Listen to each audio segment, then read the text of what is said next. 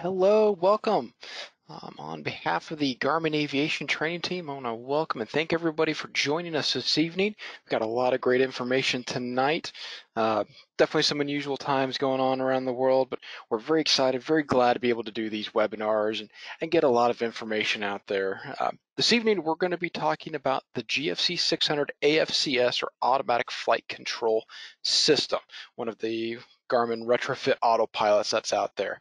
Uh, if anybody's flown behind a GFC 500 or behind the G1000 system with the GFC 700, the system is going to operate very similar to that, but it does has its its unique characteristics and some features may or may not be there depending on some of the equipment you have installed in your aircraft.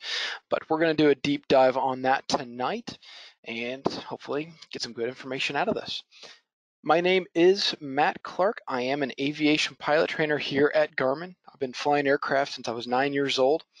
I taught for the University of Central Missouri as a flight instructor for them. I do teach part-time at ATD Flight Systems at the Kansas City downtown airport.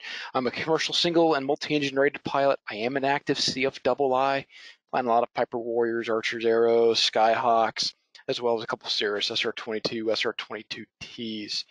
I've been here with Garmin now for about the last five years. First couple years, I actually spent with our aviation product support team. So if you've ever called in, we answered database questions, operation usage questions on a wide range of aviation products from our retrofits, um, GNS, GTNs, uh, to the integrated flight decks like the G1000, G3 5000, to handhelds, to the Garmin Pilot application. So we we bounce from product to product very, very quickly. For the last three years, I've been a member of the aviation training team where we teach GTN, GTNXI, uh, the retrofit systems such as G3X, TXI, G500, G600, as well as the integrated flight decks like the G1000, G3 5000 as well, and then going into some specialty topics like weather radar, CPDLC. So everything from the pilot perspective there.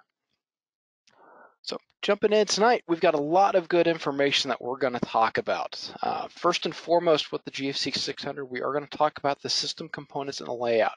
What makes up this system? What's driving the autopilot? As well as different interfaces that may or may not be installed in your aircraft.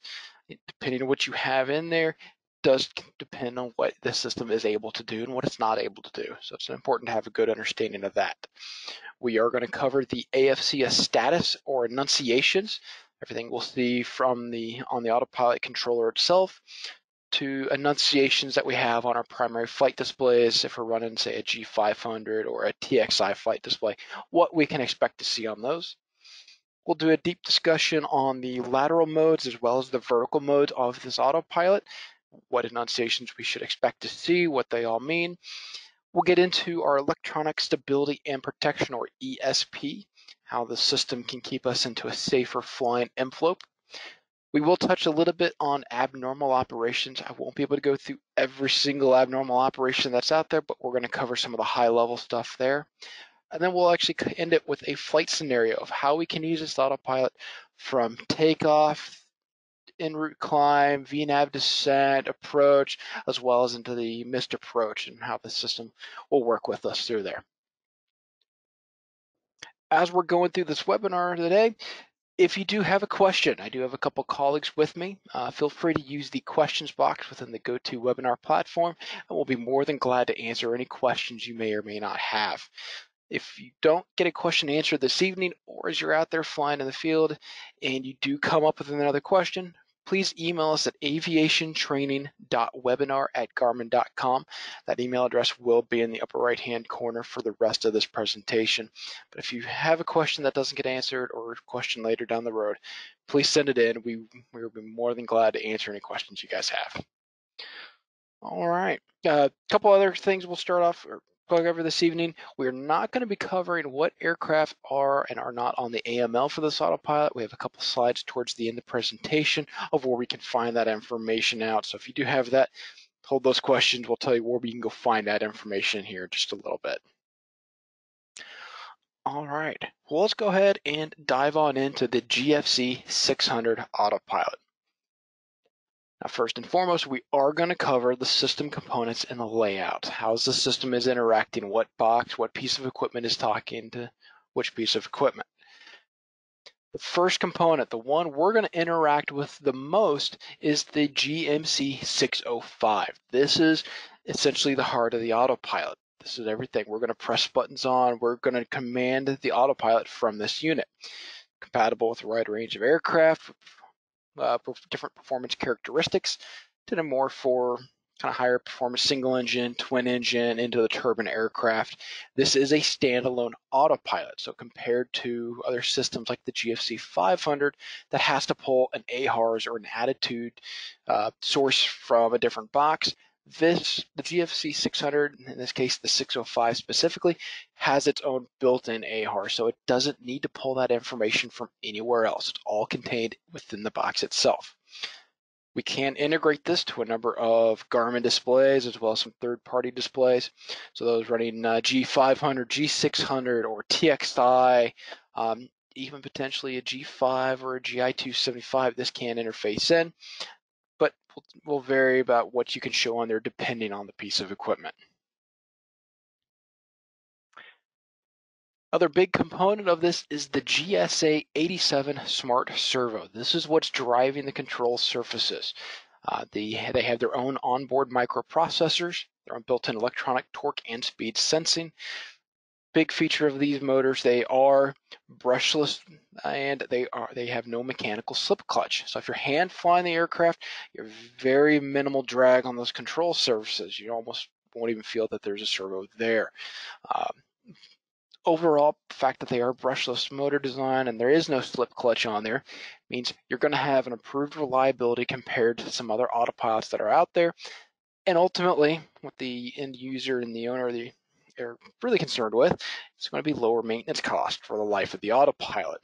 So great, great feature, great option for the GFC 600 optional piece of equipment that we may have installed in the aircraft is the GI 285 mode annunciator, that little box you see on screen. This is if you're just running the GMC 605 itself, you don't you're not running a Garmin flight display like a G500 or a TXI, then most likely you're going to need this, this 285. It's going to be placed in your primary field of view so you can verify, see what your active and what your armed modes are, what's the autopilot doing. If you're running a G500 or TXI, you won't necessarily have this option. If you're running a G5 or a GI285 interfaced in, more than likely you will be running a GI285. Uh, it does follow the same co uh, color codes that you'll see with other Garmin autopilots. So green, any green modes you'll see on there are active modes. Anything in white is an armed mode. These do have an identical footprint to other mode annunciators out in the field. So if you are upgrading or swapping from a different autopilot over to a Garmin and you have to have this, chances are this is going to be able to fit in that same that same footprint. And they are LED backlit, so real long-term reliability with this little unit. A couple of basic layouts, and as I said, layouts are going to change depending on the equipment you have. The more sophisticated equipment you interface in, the more capability you're going to be able to get out of the autopilot. Here we have a real basic setup. We have a, a standalone nav interface to the GMC 605, so there's our nav radio. There's our GMC 605. We have an analog HSI, and we have a pitch and roll servo. This is about as basic as this autopilot's going to get. We can add an additional servo for a pitch trim. This does autom will allow uh, for the automatic pitch trim. The autopilot can adjust the trim tab as need be, as well as giving the addition of having an electric manual trim. And then we also have the option of a fourth servo for the yaw damper. Some aircraft may need it, some may not. That's a great discussion to have with your installer and see if that's a good fit for your particular aircraft. Now, given this situation, given this setup, more than likely that GMC 605, that autopilot controller, is most likely not in your primary field of view. It's probably in a center stack somewhere. So chances are in this setup, you're going to need that GI285 placed in your primary field of view. Now, A good option here if you're running a GNS 430 or 530 WAAS that does and is capable of interfacing to the GFC 600 as well as interfacing say our G500 or G600 primary flight displays. Notice with this particular setup we don't have to have that GI 285. In this case, our mode annunciations are going to appear directly on the top of the primary flight display itself. In this case, the G500. So that takes the necessity of having that 285 out of the equation. Same thing applies. You can interface a GTN 650, 750, or the GTN XI series will interface in. Same thing, your mode annunciations will still, will still show on the G500 or G600, but gives you a little bit more capability. This is what's going to uh, add the ability for that vertical nav or en route VNAV descent capability. And then optimal configuration here, have a GTN or GTN XI interfaced with the GFC 600 and with a TXI flight display. Just like the G500 and G600, the mode annunciations will appear directly on the TXI flight display right at the top of the of the primary flight display. So real quick basic layouts, you are going to see different layouts depending on what equipment you have, but this is a kind of a basic idea of what can and cannot be interfaced to the system here. So now we're going to go ahead and dive into the AFCS annunciations. How do we know what the autopilot's doing? Where is it taking me?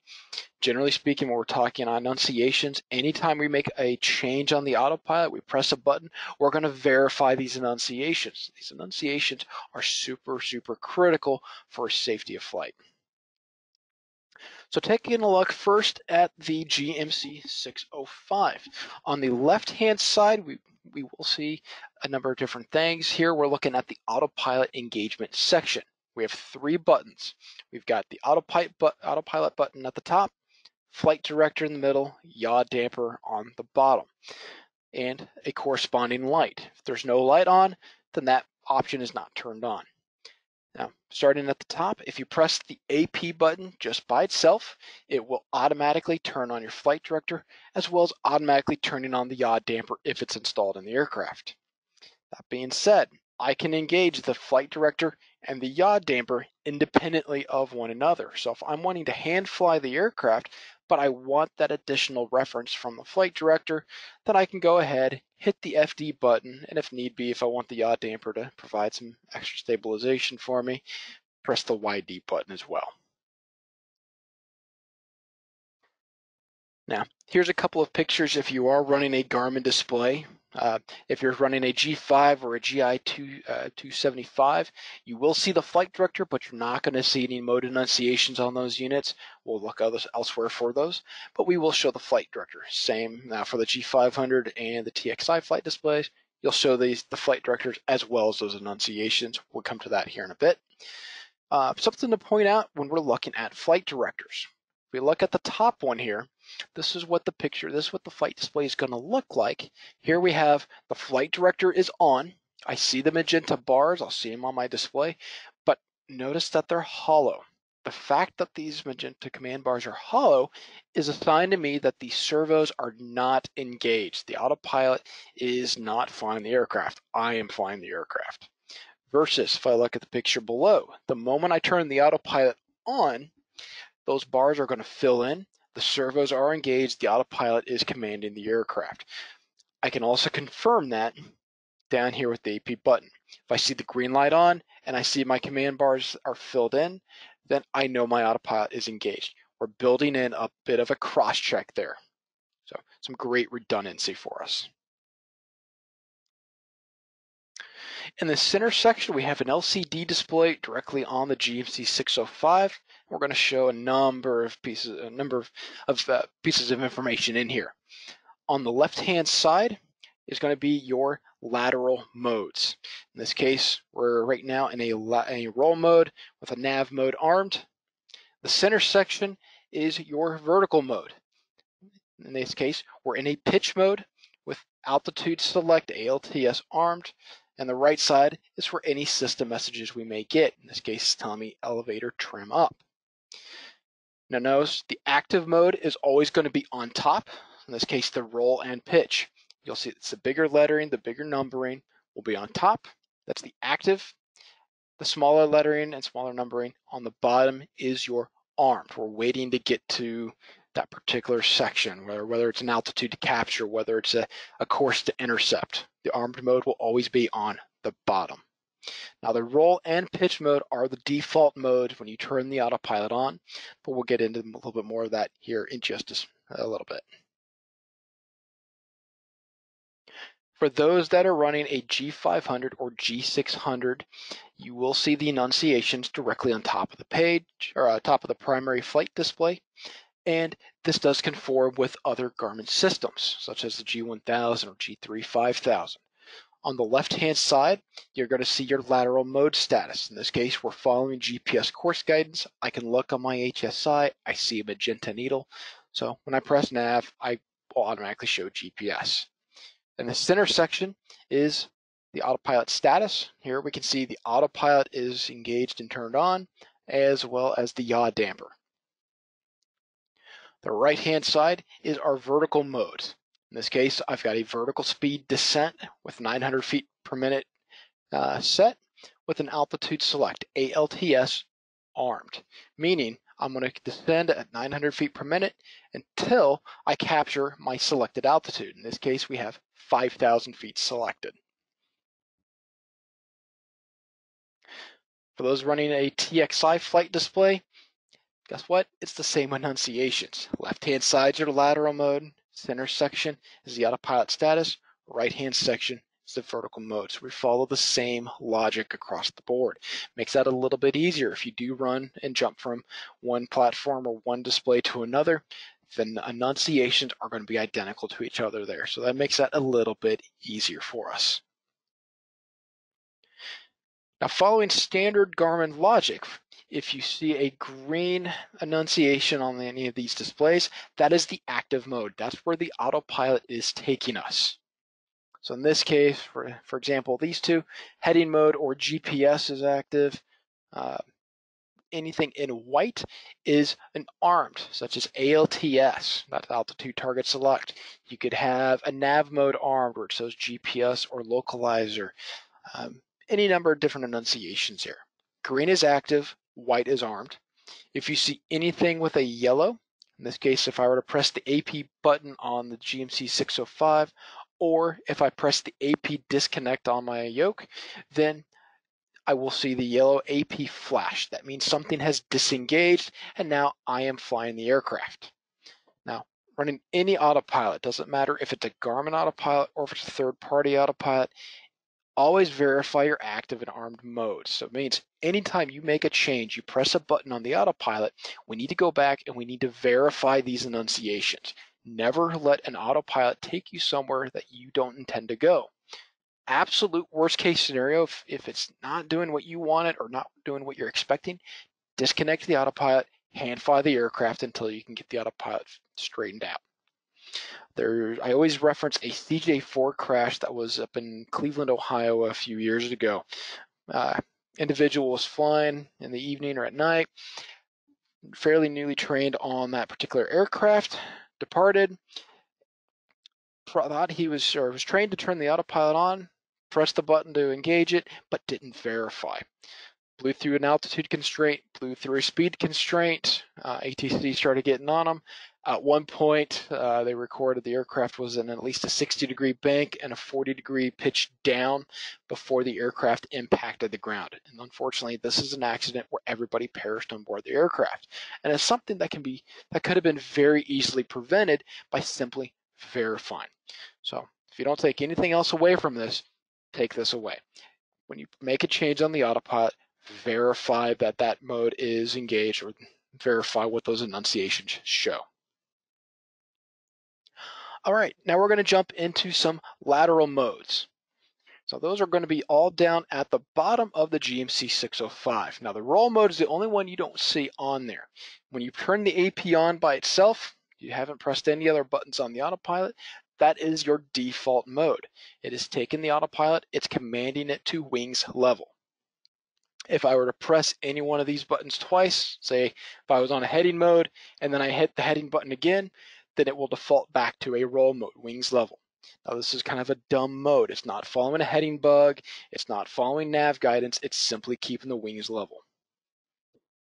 The next one over here, or the next one we'll talk about is the heading bug, or the heading mode. This is going to follow and track your selected heading. So on your primary flight display, or HSI, you set your heading bug, you engage heading mode, and all the autopilot's going to do is follow that bug. So as you're getting vectored around by air traffic control, they tell you to fly a heading, set your bug, turn heading mode on. Pretty straightforward. Nav mode is going to select and acquire whatever nav source you have selected. So if you're following GPS, if you're on GPS course guidance, the moment you press that nav button, you're going to see a GPS annunciation and you are following GPS course guidance. Same thing would apply if you're green needles or in VLOC on your GTN or 43530. If you're tracking a VOR, it's going to say VOR. If you're tracking a localizer, it will say localizer. We'll definitely see that if you're flying any sort of ILS or localizer approaches. That's the lateral mode I would expect to see. Next button is our approach mode, APR. This is going to acquire and track your selected nav source laterally. Same thing such as VOR, GPS, localizer, um, depending on the type of approach we're getting ready to do, as well as arming the appropriate vertical mode, such as GS, glide slope for an ILS, or GP for an LNAV, LNAV VNAV, LNAV plus V, LP plus V, anything with vertical guidance. And I would expect to see, say if I'm getting vectored into a final approach course, I could see a armed status here, and then I can see the arm GS or GP for my vertical mode on the autopilot here as well. Last button on there for those that still fly back course, uh, back course approaches. We do have the back course button that's going to capture, track that localizer back course. It knows it's reverse sensing, so you're not going to have to worry about the autopilot steering you the opposite direction. It knows it's flying a back course and they can make an appropriate adjustment as need be. All right, moving on to the vertical sections. We talked about the lateral modes. We had a default mode of roll. Well, the vertical mode, when you press the AP button without pre-selecting anything else, its default mode is pitch, P-I-T. Now I can change this pitch mode. So if I press the AP button or the flight director button, I can use that up and down wheel and I can adjust that pitch in 0.5 degree increments. So I can adjust a climb out pitch if I wanted to. I don't typically use a lot of pitch mode, but it is an option for us. Going back down to the bottom here, we do have a VNAV button. So those running GTN version uh, 6.51 and higher, or those running GTN XI, you do have the ability to have, and depending on the other equipment installed in the aircraft, have the ability to capture and couple to a VNAV descent. Uh, for more information on VNAV, I'm going to reference you back to the VNAV webinar we did previously. Next one is our IAS or indicated airspeed mode. This is a mode I prefer to use on climb out. I can set a climb speed and let the autopilot fly it. Now when I press that IAS button, it's going to automatically default to whatever airspeed I'm currently flying at. So if I'm in my climb out, if I'm at VY and I press IAS, that is the airspeed it's going to fly out at. However, if I if I'm uh, if I need to adjust that, uh, some of the aircraft I fly, I've got VY, but then I've got a climb speed that I want to climb out with. So I can press IAS and then I can adjust that airspeed using that up and down wheel in one knot increments, and I can refine and fine tune the climb speed that I want for that day. Same thing here for vertical speed. When I press the VS button or vertical speed, it's going to default to whatever current vertical speed I'm doing. So if I'm at level flight, I'm at zero vertical speed. When I hit VS, it's going to show zero vertical speed. If I'm in a descent already, I hit VS, it's going to capture whatever I'm currently doing. And then just like IAS, I can use the up and down wheel and I can fine tune that rate of descent. I, I can use vertical speed in a climb, I can use IAS in a descent, but I don't like to do that. I prefer to use IAS for my climb. I like to use vertical speed for descent. In my mind, it works a little bit better. The altitude button on there is going to capture your current altitude. That's all that's going to do. Now, when we get into some scenarios, and start climbing out, you realize I really don't need to use that button. And on a lot of flights, I don't. I don't typically press that button a whole lot, but if I'm doing any sort of hand flying and then I want the autopilot to kind of take back over, I can press the auto, uh, altitude button and it'll capture wherever altitude I happen to be at. Now, I can use that up and down wheel to adjust that altitude plus or minus 200 feet. Uh, so I can fine tune it just a little bit if I need to, but all it's going to do is capture your current altitude. Last button that we're going to see on there is our level button, that big blue button. That's more or less our get out of jail button. When I start to when I teach a lot of instrument students, first time we go into IMC, we can't tell which way's up, which way's down. They're fighting the aircraft. When it all gets real bad, all I'm trying to do is get him back to level flight, and then we can start making a change from there. This would allow us to do that. If I press that button, if the autopilot's already engaged, great. It's simply going to command zero degrees of bank, and it's going to command zero vertical speed. However, if I don't have the autopilot on, when I press that level button, it will automatically turn the autopilot on for me and do the same thing, command zero degrees bank and zero vertical speed. So one button, I can engage it and get the aircraft into level flight. So great, great little safety button there. Which is going to bring us here now into our electronic stability and protection or ESP. Now, ESP, electronic stability and protection, is a way to, in a sense, keep the aircraft in a protected envelope. We can kind of see there, there's a pitch envelope, there's a bank or a roll envelope. We're trying to keep it for normal maneuvers while we're hand flying the aircraft. It'll operate, no servos are going to engage. But as we fly outside of that protected envelope, now we're going to start feeling increasing forces on our controls. The servos are going to start engaging, and they're going to try to get us back in to a safe or safer flying envelope. The further you go beyond that envelope, the greater the force you're going to feel on those controls. Now, ESP does have an ability to turn on level mode if it needs to. So if you're in outside of that protected envelope for more than 10 seconds within a 20 second time period, you're going to get an engaging autopilot alert and the autopilot is automatically going to go into level mode. Here you'll see LVL on our, lateral annunciation, LVL on a vertical, the same on our flight display such as G500 or TXI. So now there are ways around it. And when I get to the end here, I will talk about how we can disable ESP, but we'll get to that here in just a second. Now the roll component of it is pretty standard and pretty common across the platforms. We're trying to discourage banking beyond 45 degrees. Now this is why we are hand flying the aircraft. On the first picture here on the left, I can see a double hash mark on my attitude indicator that's the engagement section. The moment I roll past 45 degrees of bank, if I take a look on that right-hand picture, those double hash marks are going to move up to 30 degrees. So we've rolled to 45. The autopilot's going to try to get us to back within to 30 degrees of bank. The more I fight it, the more I go past that initial 45, the more aggressive the servos are going to be, the more resistance I'm going to feel in the controls as it guides us back into level flight or back into that protected envelope.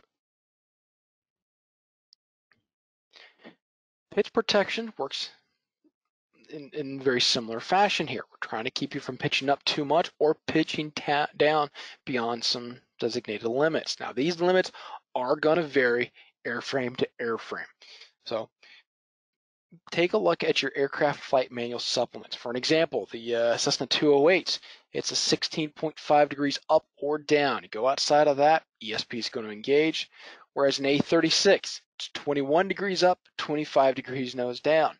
So it is going to vary. This is the importance of reading through and having an understanding of your AFMS. But same as the roll protection, the further I go beyond that protected envelope, the more force I'm going to feel in the controls trying to drive me back into that protective envelope. Now we do have some high speed and low speed protection. These are going to work with the autopilot is on or engaged. Uh, high speed protection is going to try to prevent you from going over VNE and I'll pitch the nose up to keep you from overspeeding the aircraft. Our low speed protection is going to try to prevent the aircraft from stalling or going below a certain set speed. Once again, refer back to your AFMS for that value. This that low speed protection does require a couple things. First and foremost, we require a Garmin primary flight display and or a GTN with a valid terrain database. We need that terrain database to compare to your GPS altitude so we know how high off the ground you are. And the low speed protection is automatically going to inhibit below 200 feet AGL. So as you're coming into in, underneath the approach, you're coming into a landing phase, we don't want the aircraft, we don't want the autopilot to start lowering the nose when we're already low to the ground. So the autopilot will automatically inhibit for us. On the overspeed protection side, as we said, this is going to work when the autopilot is on and in some modes while you're descending.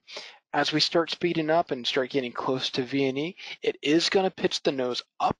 We will see a max speed display on the GMC 605 as well as on our uh, G500 or TXI flight display. Your vertical mode is automatically going to change to an indicated airspeed, so it's going to try to keep you just below VNE until we get the aircraft slowed down. Your previous mode is automatically going to arm, now, once we reduce some speed, we slow down a little bit, we get away from VNE, that previous mode can become active again and it can resume that descent or whatever mode you were, you were currently doing. For underspeed protection, same thing. The active when the autopilot's on, we're discouraging you from going below an established speed. Take a look at the aircraft flight manual supplement for that value for your aircraft. Uh, you'll get instead of a max speed, this time you're going to get a min speed display on your PFD. Opposite of the overspeed, it's going to pitch the nose down, it's trying to keep the aircraft from stalling. But it is going to switch you into an IAS mode, trying to keep you above that stall speed or that uh, or preset speed. You'll get an airspeed alert, and just like the other, when we start increasing some speed, previous mode that was armed can come back to active again. Now for all of this, for especially for your pitch and roll, I get this question a lot. I'm going out, we're going to be doing commercial standard steep turns. I need to go to a 50 degree bank angle, or I need to get past the ESP, or I just want to disable it. This can be done very easily. If you press and hold the autopilot disconnect for six seconds, it will automatically disable ESP, and you'll see that on the GMC 605. It'll say ESP disabled. Enabling ESP is as simple as turning the autopilot back on. Once you hit the AP button, that ESP disabled will go away, and now it is automatically rearmed. So very easy to disable it, very easy to re-enable it. All right, so now we're going to dive into a few abnormal operations. Now, I'm not going to go, I don't have the time tonight to go through every single abnormal operation. I do highly encourage that you take a look and read through the, uh, the AFMS. It will go into more detail. Basic theory though, if something starts to go wrong, something's not going right, grip the controls firmly, disconnect to the autopilot, hand fly the aircraft. All right, so first and foremost, if you see a flashing AP LED, take my laser pointer and pop it over there, means we it's going to indicate a manual autopilot disengagement, and you're going to get an aural alert just like this. AP flashes, and then that light's going to go away. We see the green light is now just gray, it's off, and we are hand flying the aircraft. That's whether I hit the AP button on the 605 or if I hit the AP disconnect you'll get that notification.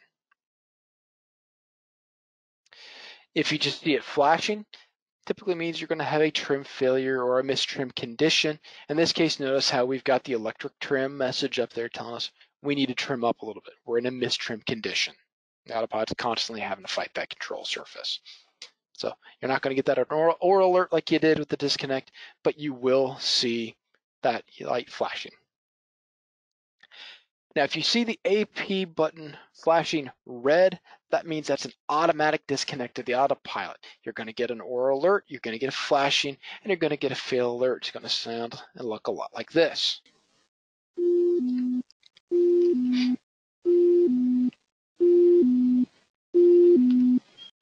Now that tone is going to keep going until we acknowledge it. And we acknowledge it by pressing either the AP button on the autopilot or pressing the AP disconnect on the yoke.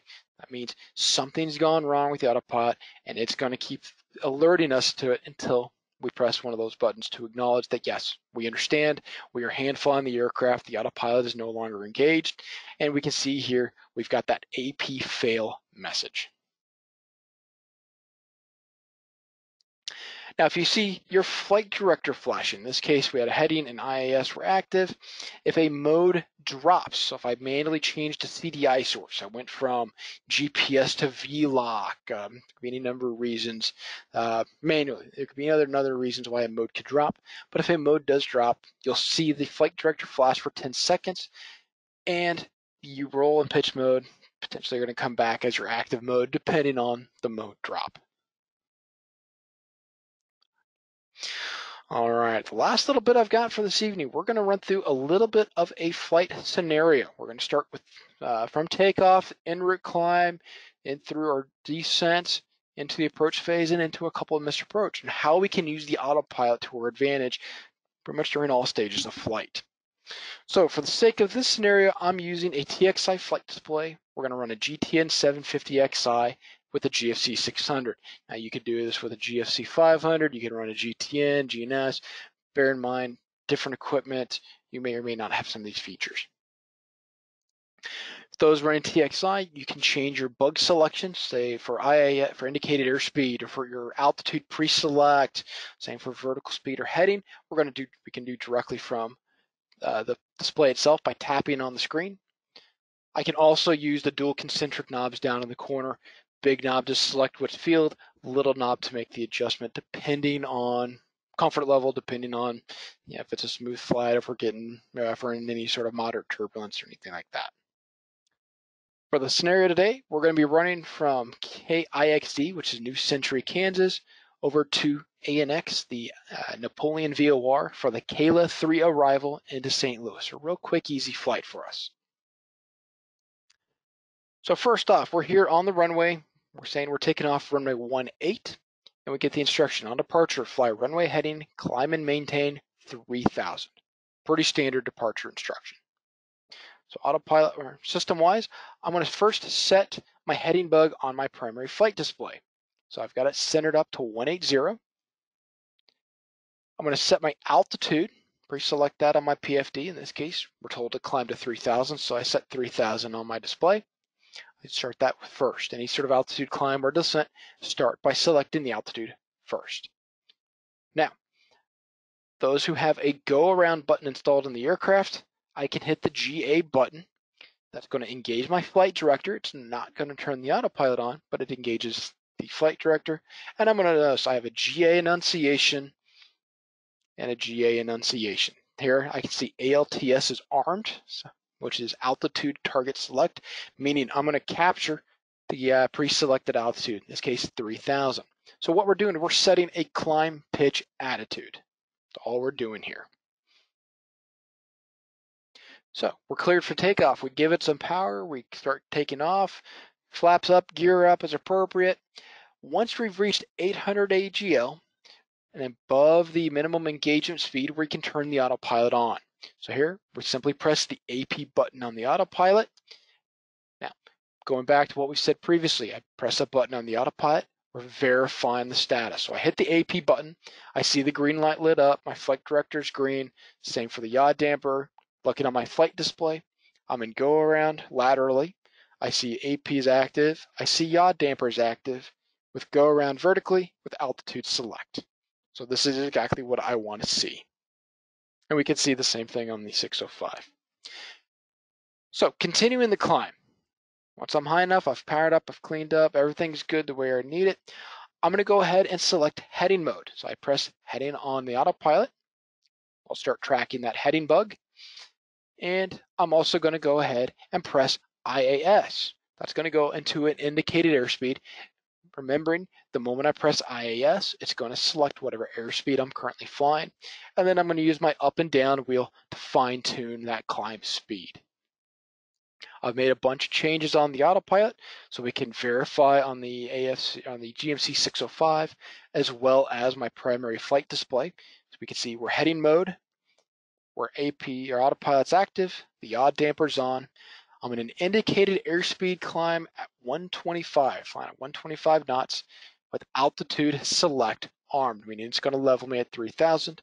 I see the same thing on my GMC 605. Headings active, IAS at 125 with ALTS armed. So I've got my verification, I got my redundancy there. Next instruction, ATC tells us turn left heading 090, climb and maintain 7000. Straightforward instruction. We're already in heading mode, so I'm going to take my heading bug, I'm going to set it to 090. Since we're already in heading mode, the aircraft's automatically going to turn and follow that heading bug. Next up, reset my altitude selector. So take my altitude selector, roll it up to 7,000 feet. Now, this is where it gets fun if we have already leveled off, I'm going to need to go back down to my GMC 605. I'm going to need to re-engage IAS and let it climb. Verify my status, use that up and down wheel to fine tune that airspeed. If I haven't yet leveled off, if I'm still in the climb and I reset that altitude to a higher altitude, the aircraft is simply going to continue to climb on up. So it depends on where we are when we get this clearance. Once again, we've made some changes. We've give, reset some altitude. We've potentially re-engaged indicated airspeed mode. So we're going to verify that our autopilot is still doing what we expect it to be doing. Next instruction here, proceed direct to the Napoleon VOR, climb and maintain 15,000. Still a straightforward instruction. I'm going to start by setting direct to on my navigator. So I go into my flight plan, tap on Napoleon direct to, once I've done that on my navigator, the GPS guidance is taking me to the fix I need to go to. I'm going to go down to the autopilot and I'm going to engage nav mode. Now, since I'm flying a GPS course, I can see GPS as my armed lateral mode, as well as I can see it on my vertical or my uh, primary flight display. I'm going to reset my altitude bug. I'll roll it up to 15,000 and then same thing as before. If I'd already leveled off, I need to re-engage IAS or indicated airspeed, reset my airspeed, and keep that climb. If I have yet to level off, if I'm still on my climb out, same as before. All I need to do is roll my altitude selector up. And of course, we're going to verify. We've made some changes again. So anytime I press a button on the autopilot, I'm going to verify here GPS is active laterally. I'm in an IAS climb at 125 altitude select is armed, meaning we're going to capture my pre-selected altitude. Same thing on my PFD. GPS It's my lateral mode. We're following GPS guidance. IAS at 125, ALTS leveling off at 15,000. Now, as we get closer, normally we get within 200 feet of our selected altitude, you're going to see ALTS become the active mode. So it's ALTS at 15,000, meaning it's getting ready to level us off. And I see ALT, altitude hold, is armed, automatically armed. It does that automatically. I don't have to press the ALT button at all. Once we get to 15,000, then altitude hold becomes the active vertical mode.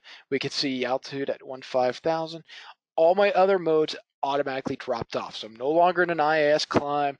I'm not in vertical speed. We're simply going to hold and maintain this altitude. Does it for me automatically.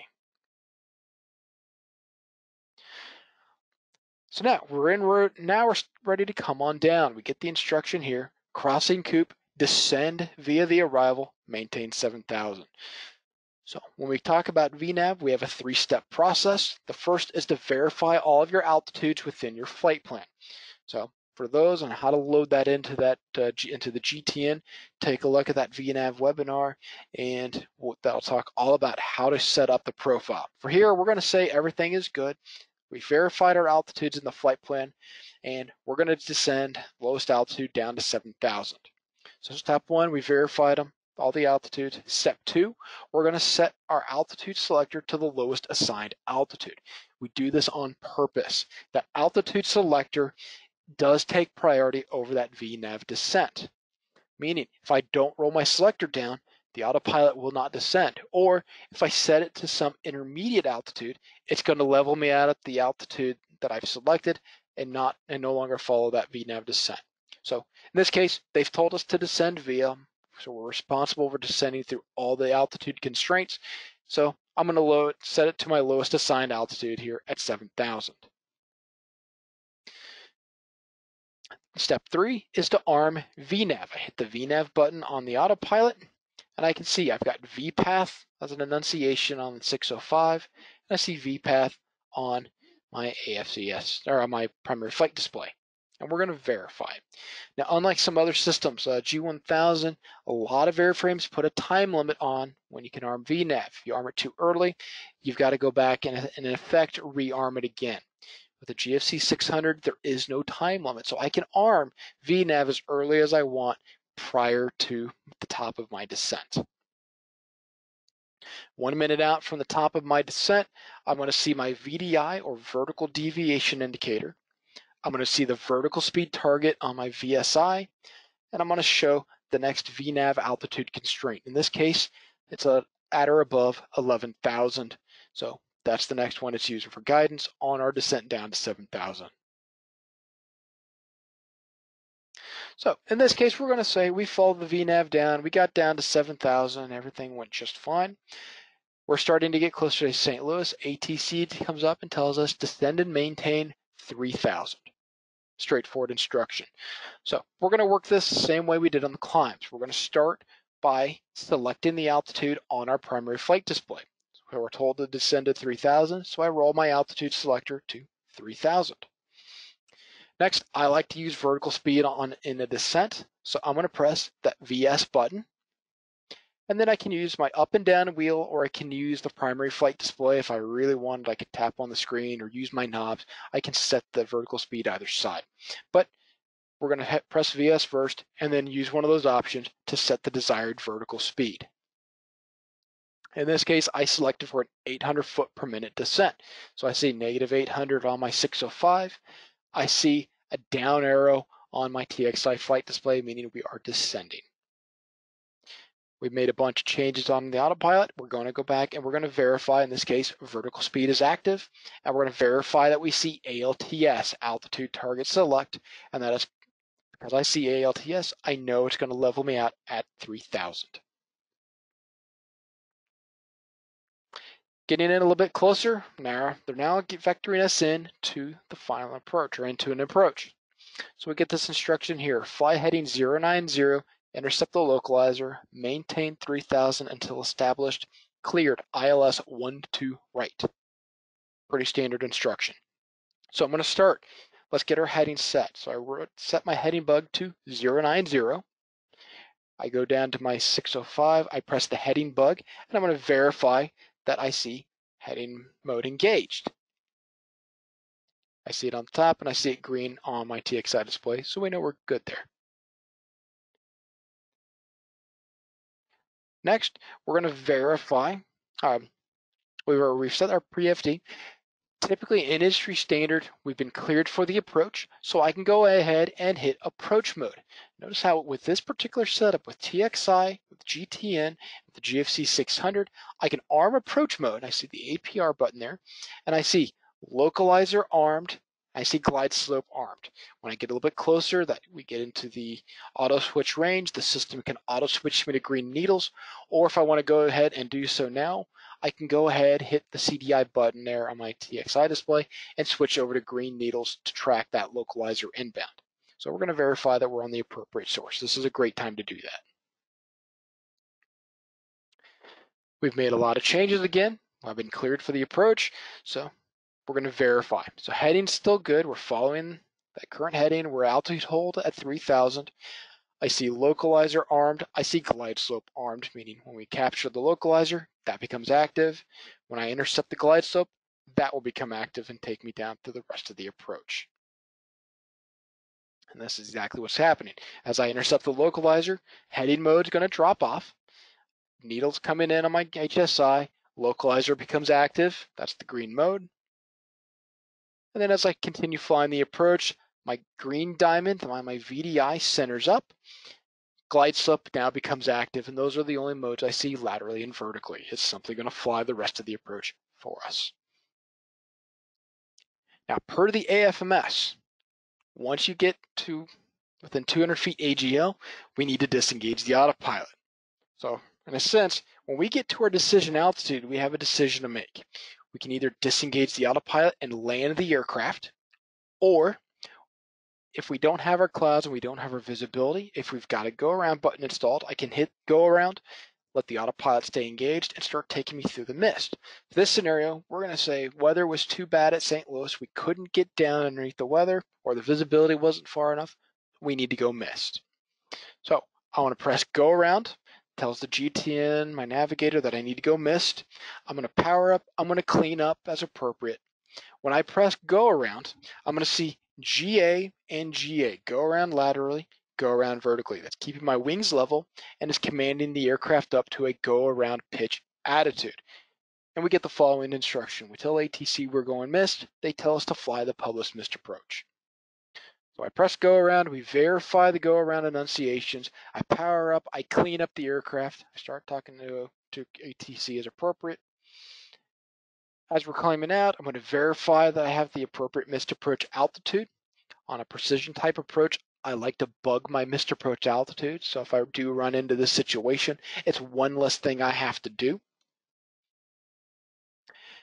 And then once we powered up and cleaned up, we need to go back and re-engage nav mode. We press the nav button, we go back into GPS course guidance. So when we activate the, G, the missed approach on the GTN, it auto switches back into GPS. By pressing nav, I can now follow the rest of that missed approach, in this case, the, the published missed approach. If ATC had given me a heading to fly instead, I would go into heading mode. If I'm in a prolonged climb, I am going to go ahead and pop back into IAS, or indicated airspeed, and same thing as on our initial climb out. I'm going to use that up and down wheel to reset and define the appropriate climb speed I want to climb out at. And this, at point, will take us up to the selected altitude, in this case 5,000, and we're going to have continual guidance all the way into the missed approach procedure. Now we do have a couple resources here. We're coming up to the end of this. Uh, for those running G500, G600, there is some autopilot references in there. Same thing for those running a TXI flight display. There is a separate GFC 600 pilot's guide. It's worth the time to to read through that. I highly, highly recommend taking the time and reading through the, the, the airplane flight manual supplement.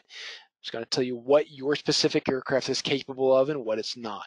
So take the time and read through that guy.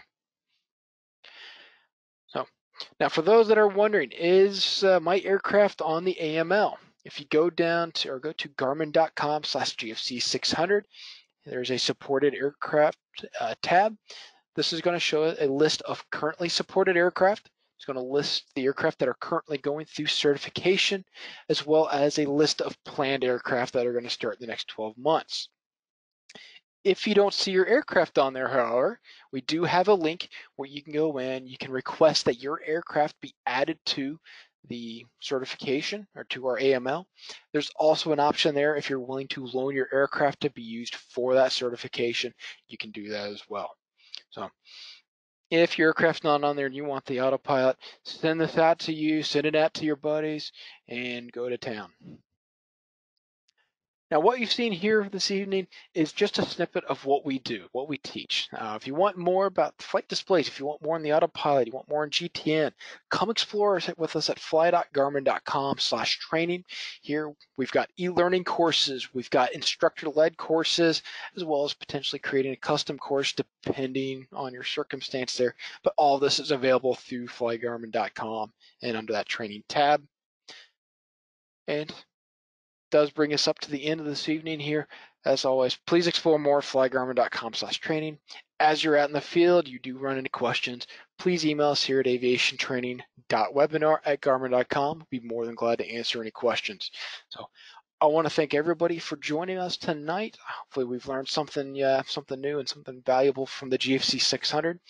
So I hope everyone has a safe and wonderful evening.